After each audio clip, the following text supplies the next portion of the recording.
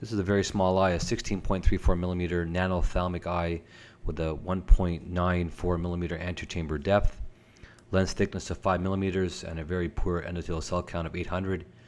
Uh, gonioscopy here shows angle closure. In all quadrants, you can see no angle structures are visualized with the surgical gonial lens that we have present. On visualization with, again, a fairly large, very large lens and a very small eye. We're going to start off with a pars plana uh, incision here using a 23 gauge MVR uh, trocar system here, engaging the sclera tangentially here in the infratemporal quadrant and placing the trocar here present.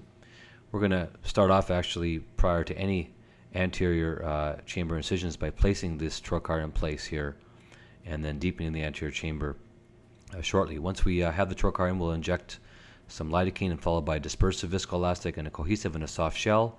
Again, a very shallow chamber here, uh, making our temporal clear corneal incision.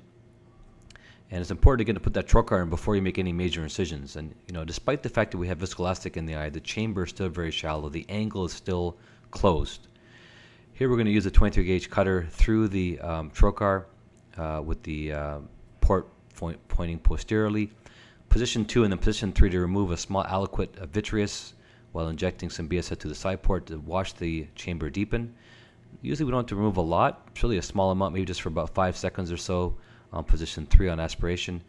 And then now we see on gonioscopic examination, we see the chamber has deepened quite nicely. The angle actually is quite visualized now with uh, see some nice reddish uh, reflux into the uh, canal of Schlemm, and we have deepened the chamber sufficiently for safe phacoemulsification, particularly when we have a very poor corneal endothelium. Uh, we want to work away from the uh, anterior chamber, uh, from the cornea.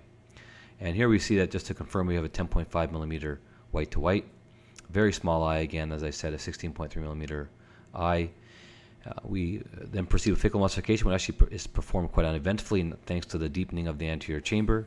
Very, very important to keep that chamber formed, though, prior to any withdrawal of any instrumentation. Any kind of shallowing of the chamber in this eye could cause choroidal expansion and, and positive pressure, or sort of malignant glaucoma sort of uh, appearance uh, intra-op. Uh, again, prior to removal of the eye handpiece, we're going to inject some cohesive viscoelastic in preparation for the intraocular lens. Here we're using a 53 diopter Zeiss XTreme D um, foldable lens, a diffractive design. You can see that this is a thin foldable lens that can fit through a sub 2.5 millimeter incision.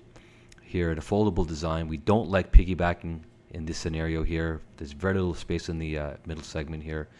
And uh, this foldable IOL is excellent up to 60 diopters. We do uh, ensure we place it into the bag completely.